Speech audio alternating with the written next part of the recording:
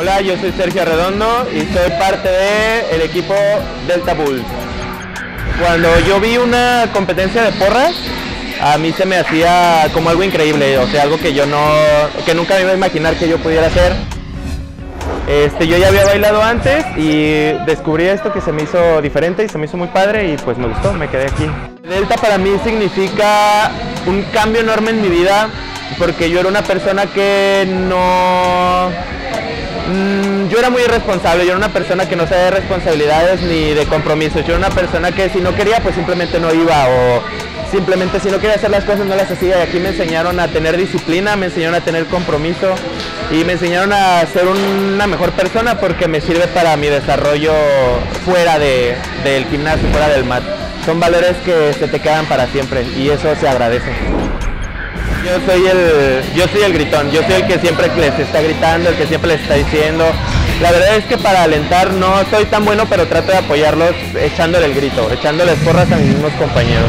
Cuando estamos por salir al escenario, cuando estamos en la parte de atrás, a mí no me importa si me están viendo, si me, si me están calificando, yo salgo al escenario y pues yo, yo, yo me expreso, o sea, yo, yo me convierto, me convierto en, pues en el porrista con uniforme fuera del, fuera del entrenamiento.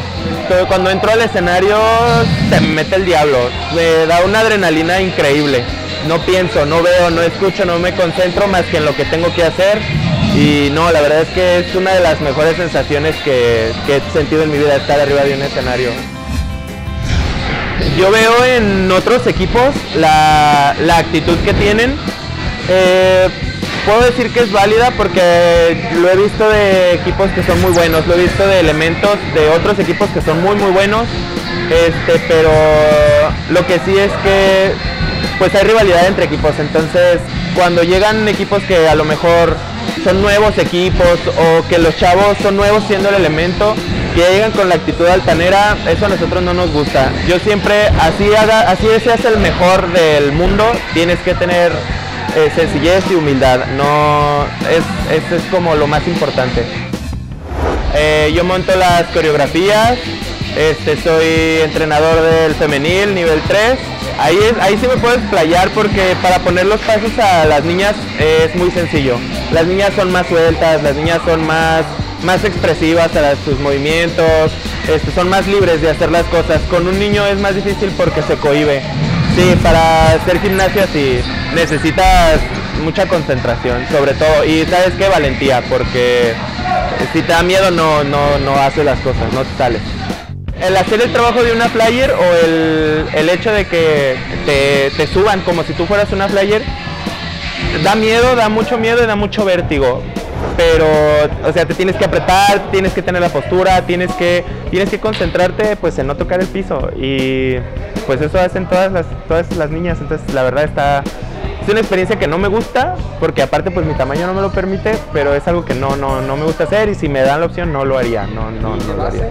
De base sí, me encanta, me encanta hacer base, me encanta, me encanta hacer, sacar nuevos elementos, me encanta estarle dando, dando, dando hasta que me salga como, como nos lo pide el entrenador o como a ti te gusta, porque la verdad es satisfacción personal. Hasta que no me sale un elemento como a mí me gusta es cuando ya lo, cuando ya lo dejo o cuando ya lo presento. Fui a Colombia el año pasado con la selección Jalisco. Indescriptible. Pues es una experiencia padrísima. Conocer gente que hace lo mismo que tú, que le apasiona las mismas cosas que tú. Y es increíble, la verdad es, es padrísimo. Es un deporte de mucha exigencia, es un deporte de mucha disciplina.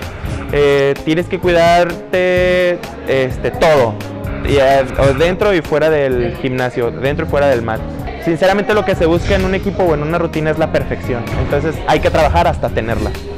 Muchísimas gracias a SMX. Nos vemos en Puerto Vallarta 2017 de Bull.